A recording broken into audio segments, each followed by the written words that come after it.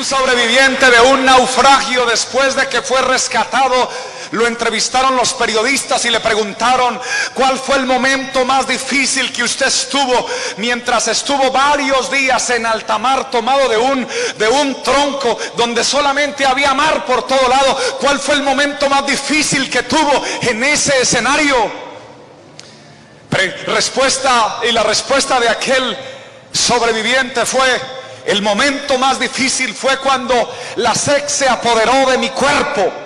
Cuando tuve esa sed que se apoderó de mi cuerpo, esa sed insaciable y, de, mirar lo que estaba a mi alrededor, tenía mucha sed y se me hizo fácil, oh, hay mucha agua y tengo mucha sed. Entonces empecé a tomar agua de mar y a tomar agua de mar y cuanto más agua tomaba, más sed me daba. Y cuanto más agua tomaba, más sed me daba. Y ese fue el momento más difícil porque sentía que moría, que me deshidrataba por dentro. Mi estómago estaba lleno de agua, pero me estaba muriendo de sed. De la misma manera le ocurre a los habitantes del globo terráqueo, incluyendo a, los habitantes de Valledupar, Villas del Rosario y sectores aledaños. Están muriendo de sed espiritual, están sedientos, se están deshidratando por dentro y están tomando aguas que no les sacian ni les calman la sed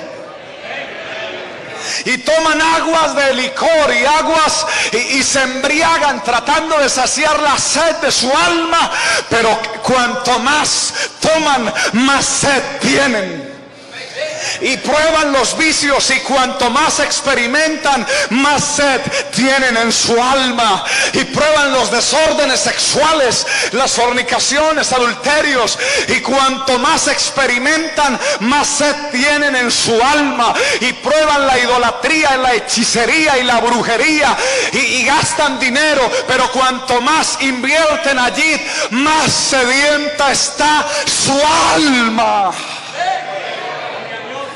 Pero hubo un bendito Salvador llamado Jesucristo que dijo, si alguno tiene sed, venga a mí y beba, porque el que cree en mí, como dice la escritura, de su interior correrá.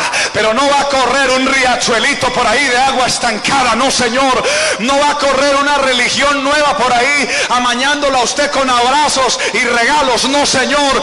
El que cree en mí, como dice la escritura, de su interior, de adentro, correrán ríos de agua viva.